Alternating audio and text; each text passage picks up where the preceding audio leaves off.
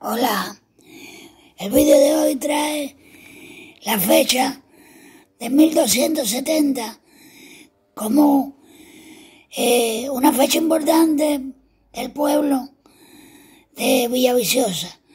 Resulta ser que ese año Alfonso X el Sabio fundó la, Puebla, la Puebla de Maliayo.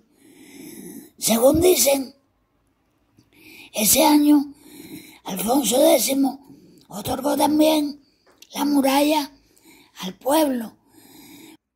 Este vídeo trae el nombre de la calle más antigua de Villaviciosa. Se llama Consejo.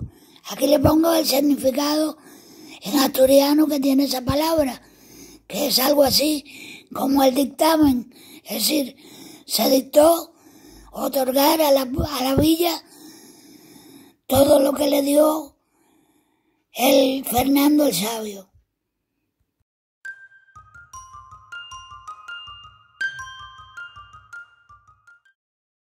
El siglo, el siglo XIII fue fundacional para Villaviciosa.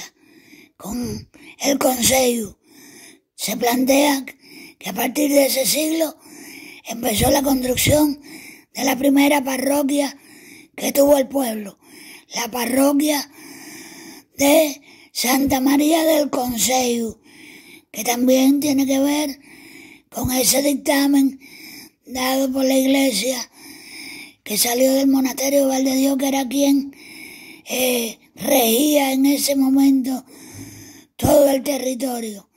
Hasta ese siglo todavía los, los moradores de Maliayo pagaban su diezmo a la iglesia de Amandi, que es un lugar muy cercano a Villaviciosa, pero es a partir del siglo XIII que comienza la construcción de la iglesia, de la primera iglesia que tuvo Villaviciosa, Asturias. De esto es que trata nuestro vídeo. Luego veremos y hablaremos y mostraremos esa primera parroquia que tuvo la villa, la de Santa María del Consejo. Es un vídeo que les tengo muy prometido y que en algún momento lo editaré y se lo presentaré.